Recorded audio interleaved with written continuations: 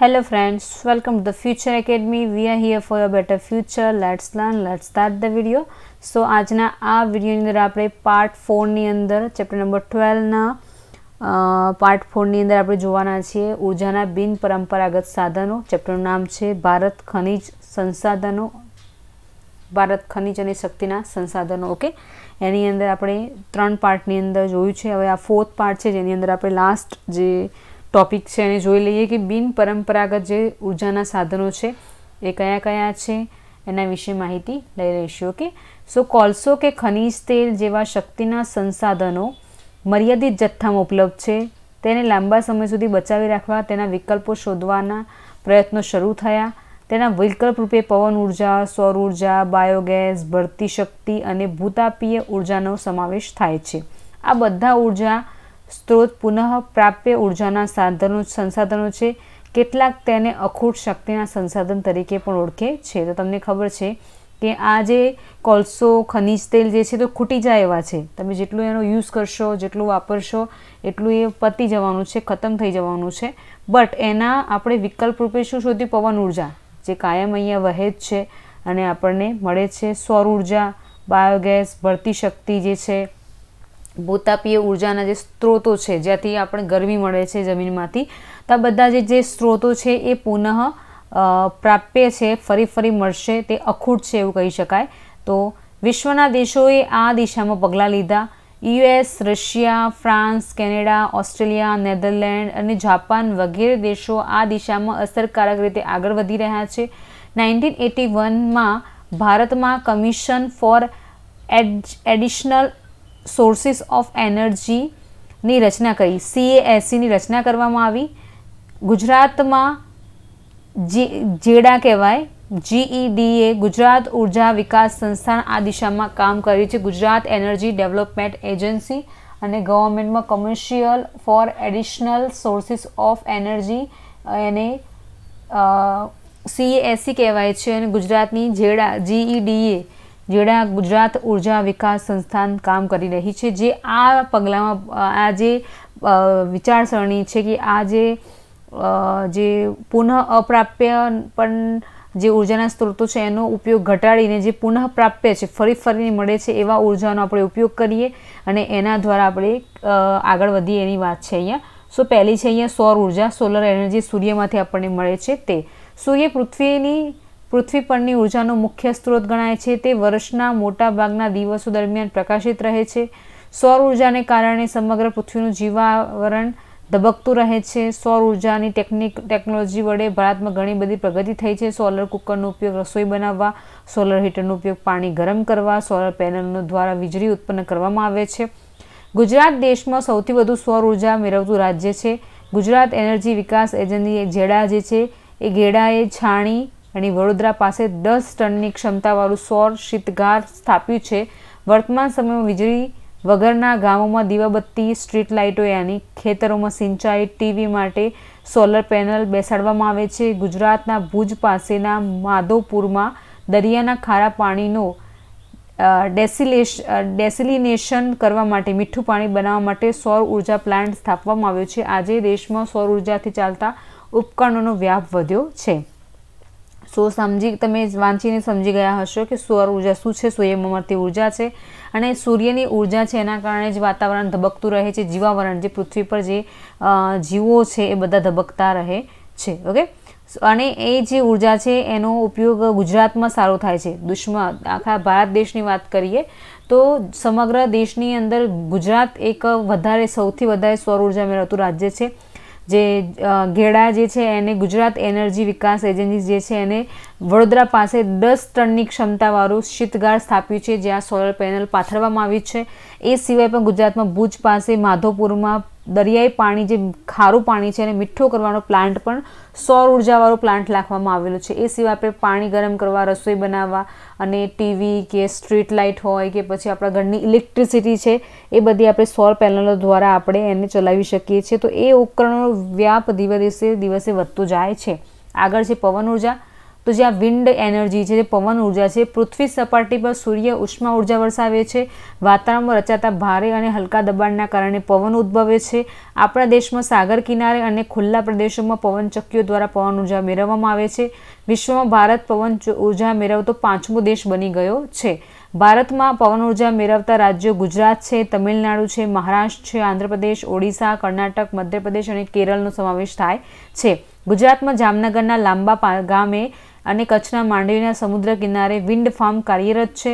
દેવભૂમિ દ્વારકા, જામનગર, કચ્છ, રાજકોટ, પોરબંદર વગેરે જિલ્લાઓમાં ઊંચાઈ પર પવનચક્કીઓ સ્થાપીને વિદ્યુત ઊર્જા ઉત્પન્ન કરવામાં આવે છે. તમે સૌરાષ્ટ્રનો પ્રવાસ કરો તમને ત્યાં જે જામનગરનો જે પટ્ટો છે, તમે સોમનાથથી માંડીને દ્વારકા સુધી જશો. તમને રસ્તામાં ઘણી ઘણી જગ્યાએ તમને પવનચક્કીઓ દેખાશે અને એટલી બધી પવનચક્કીઓ છે ત્યાં, જેના કારણે પવન ઊર્જા, જે જે પવનની શક્તિ છે, એનર્જી છે, સ્પીડ છે, એને વીજળીમાં કન્વર્ટ કરવામાં આવે છે. સો આ બધા રાજ્યો, ગુજરાત સિવાય પણ તમિલનાડુ, મહારાષ્ટ્ર, આંધ્રપ્રદેશ, ઓડિશા, કર્ણાટક, મધ્યપ્રદેશ અને કેરળ, આ બધા રાષ્ટ્રો પણ રાજ્યો પણ પવન ઉર્જાનો ઉપયોગ કરે છે અને ઇલેક્ટ્રિસિટીમાં રૂપાંતર કરે છે. ઓકે? પછી નેક્સ્ટ છે અહીંયા બાયોગેસ પ્લાન્ટ તો બાયોગેસના ઉત્પાદનમાં નકામા કૃષિ પદાર્થો, શેરડીના કૂચા હોય, અન્ય વનસ્પતિ હોય, છાણ હોય, માનવના મળમૂત્રનો સમાવેશ થાય છે. આ પદાર્થોના સડવાથી મિથેન વાયુ છૂટો પડે છે. આ વાયુ દહનશીલ છે. તેના ઉપયોગ બાદ વિષાણુ વગરનું કિંમતી ખાતર પ્રાપ્ત થાય છે. આમ ઊર્જા અને ખાતર બંને મેળવી શકાય છે. આ ઊર્જા મેળવવાનું બિનપરંપરાગત શક્તિના સંસાધન છે. સૌર ઊર્જા અને બાયોગેસ બંને શક્તિના સંસાધનો ભારતના ગામડાઓની પરંપરાગત જીવનશૈલીને બદલી શકે તેમ છે. ગ્રામ વિસ્તારની સ્વચ્છતામાં વધારો થાય તેમજ તેઓની ઘરેલું ઉર્જાની અછત દૂર કરી શકાય છે. ઉત્તર પ્રદેશ અને ગુજરાત બાયોગેસના ઉત્પાદનમાં પ્રથમ અને દ્વિતીય સ્થાન ધરાવે છે. ગુજરાતમાં સિદ્ધપુરના મેથાણમાં સૌથી મોટો આદર્શ બાયોગેસ પ્લાન્ટ નાખવામાં આવ્યો છે, જે સામુદાયિક ધોરણે ચલાવવામાં આવે છે. અમદાવાદમાં દસકોઈ તાલુકાના રુદાતલ તેમજ બનાસકાંઠામાં દાંતીવાડા ખાતે બાયોગેસ કાર્યરત છે. આ ઉપરાંત વ્યક્તિગત અને સામૂહિક રીતે બાયોગેસ પ્લાન્ટ સ્થાપીને તેનો વપરાશ વધારવામાં આવી રહ્યો છે. તો તમને ખબર છે કે જે વેસ્ટેજ છે, જે લીલી વનસ્પતિ હોય કે પછી શેરડીના કૂચા છે, નકામા કૃષિ પદાર્થો હોય, છાણ હોય, માનવના મળમૂત્ર છે, એ બધી વસ્તુઓને એ પ્લાન્ટની અંદર નાખવામાં આવે છે. એ સડે છે અને સડવાથી મિથેન વાયુ છૂટો પડે છે અને આ મિથેન વાયુ જે છે દહનશીલ છે, સળગાવી શકાય છે. તો એ વાયુના એ જે ગેસ છે એનો ઉપયોગ કરીને આપણે આપણા જે જીવનશૈલી છે, ગામડાઓની બદલી શકીએ છીએ. તમને ખબર છે ગામડાઓની અંદર ગાયો, ભેંસો અને આજુબાજુમાં ઘાસચારો ઉગી નીકળતો હોય તો એવા જે લીલી વનસ્પતિ છે એ બધી વસ્તુઓ ત્યાં મળી રહેતી હોય છે. તો એ એ બધી વસ્તુઓનો જ વેસ્ટેજનો જ ઉપયોગ કરીને અહીંયા ગેસ મેળવવામાં આવે છે અને એ રીતે ગામડાની સ્વચ્છતા પણ વધારો થશે અને ઘરેલું ઊર્જા પણ મળી રહેશે. ગુજરાત અને ઉત્તર પ્રદેશ ફર્સ્ટ અને સેકન્ડ રેન્ક પર આવે છે. આઈ થિંક પ્રથમ ઉત્તર પ્રદેશ હશે તે ગુજરાત આવે છે. તે ગુજરાતમાં સિદ્ધપુરની અંદર એક બાયોગેસ પ્લાન્ટ મેથાણમાં સ્થાપવામાં આવ્યો છે. એ સામુદાયિક ધોરણે, યાની આખા ગામનું એક બાયોગેસ પ્લાન્ટ અને આખા ગામના જેટલા પણ લોકો છે બધું પોતાના ઘરનું છાણ હોય કે વેસ્ટેજ કચરો હોય, જે આપણે ઘરે શાકભાજી લાવીએ તેનો જે વેસ્ટેજ નીકળે એ એ બધી વસ્તુ ત્યાં નાખી આવતા છે. જેના કારણે એ આખા એ બહુ મોટો પ્લાન્ટ હશે અને સામુદાયિક ધોરણે ચાલે છે. તેમ અમદાવાદની અંદર પણ દસકોઈ તાલુકાના રુદાતલની અંદર અને બનાસકાંઠાના દાંતીવાડા ક્ષેત્રે પણ ચાલે છે. એ સિવાય પણ લોકો વ્યક્તિગત રીતે પણ પોતાના ઘરે બાયોગેસ પ્લાન્ટ નખાવતા હોય છે. જે લોકો ભેંસો અને ગાયો રાખતા હશે, જે પશુપાલન કરતા હશે, એ લોકો પોતાના ઘરે રાખતા હોય, જેના કારણે જમવાનું એન્ડ ઓલ જે એમની જે જરૂરિયાતો હોય, ગેસ દ્વારા જે યુઝ કરતા હોય, એનો એમાં બચત કરી શકાય અને એને સરળતાથી મળી રહે છે. પછી છે, ભૂતાપીય ઊર્જા, એની આ જે ઊર્જા છે ભૂસંચાલનીય પ્રક્રિયાને કારણે ભૂગર્ભમાંથી વરાળ વધારાની વરાળ સપાટી પર આવવાનો પ્રયત્ન કરે છે. આ વરાળને નિયંત્રણમાં લઈ તે ઊર્જા મેળવાય છે. તેને ભૂતાપીય ઊર્જા કહે છે. કેટલીકવાર ભૂસપાટી હેઠળ ઉતરેલું ભૂમિગત જળ મેગમાના સંપર્કમાં આવે છે અને તે પછીથી વરાળમાં ફેરવાય છે. સમય જતાં ભૂસપાટી પર આવતા ઉષ્ણ જરા અને ઉષ્ણ ફુવારા થકી પણ આ ઊર્જા મેળવાય છે. ગુજરાતમાં લસુંદરા, ઉનાઈ, ટુવા અને તુલસી શામ ખાતે ગરમ પાણીના જરા આવેલા છે, તેમજ ભૂતાપીય ઉષ્મા ઊર્જા મેળવવાની શક્યતાઓ રહેલી છે. જે જમીનના પેટાની અંદર જે ગરમી છે, એ ગરમી સમટાઈમ્સ વરાળ સપાટી એ વરાળ રૂપે સપાટી પર આવવાનો પ્રયત્ન કરે છે અને ત્યાંથી આપણે ભૂતાપીય ઊર્જા પ્રાપ્ત થતી હોય છે. આવી જે ઊર્જા આપણે મેળવીએ છીએ અને એને નિયંત્રણમાં લઈને ઉર્જાની અંદર કન્વર્ટ કરવામાં આવે છે.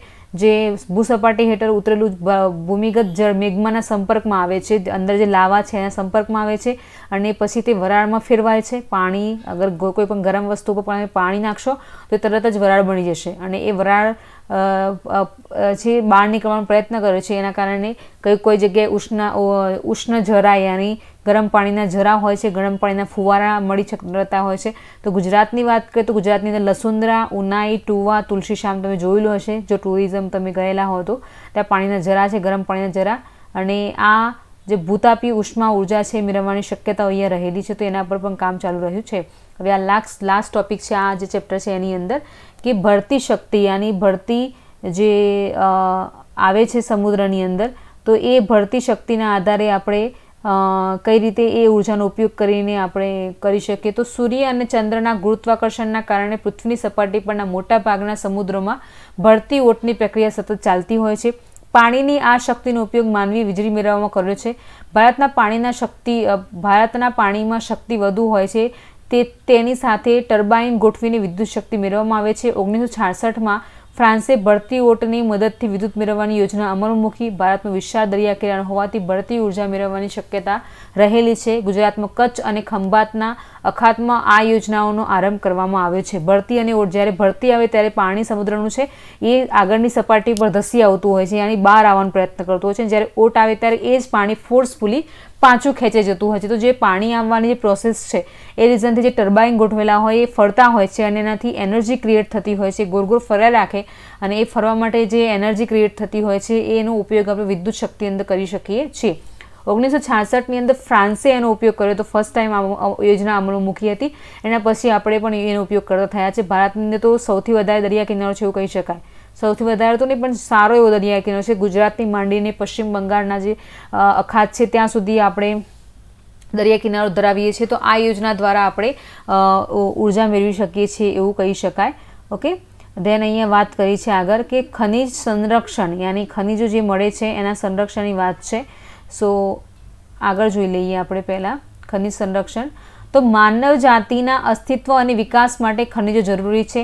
આ બાબતે માનવે પોતે પણ વિચાર કરવો આવશ્યક બને છે. માનવે ખનિજોના સંરક્ષણ માટે કેટલીક બાબતો વિચારવી રહી. સંરક્ષણ કોને કહેવાય?